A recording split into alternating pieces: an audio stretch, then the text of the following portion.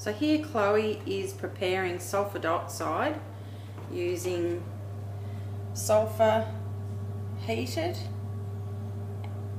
in the presence of oxygen to create sulfur dioxide which is then added to the gas jars with various materials contained in those gas jars.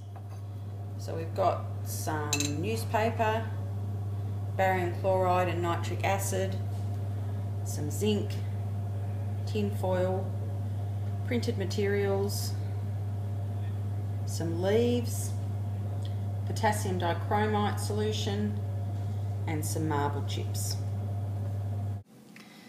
Barium chloride didn't show a major effect, it's still clear.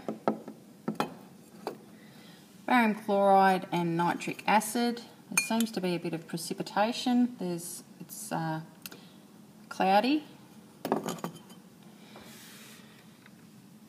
Potassium dichromate, no colour change.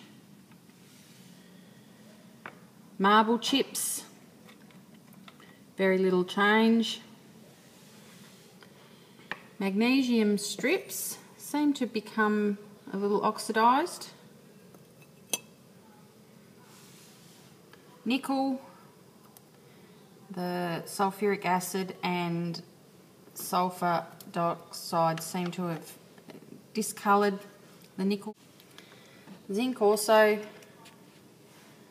has some precipitate and discoloration. The newspaper, very little change after 24 hours exposed to sulfuric acid and sulfur dioxide.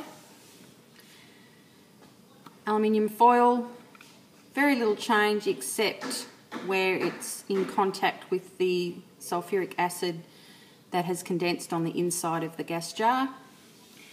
The leaves seem to have made the biggest change um, with the change from green to yellow and brown. And the printed matter, no change. And we tested the distilled water, which showed it had become slightly acidic, dropping from 7 to 6 on the pH scale.